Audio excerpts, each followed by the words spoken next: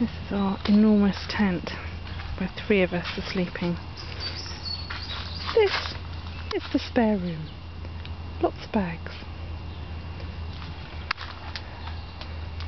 This is the master bedroom.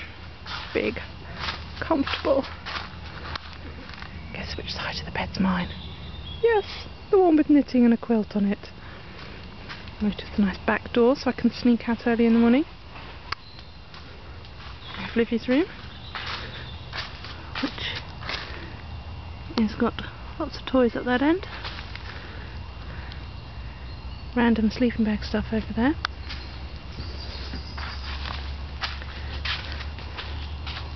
I reckon could also line up about 12 people in the hall.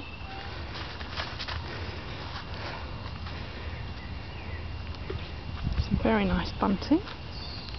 Very nice, very nice, very nice, very nice. And here is Cam's tent.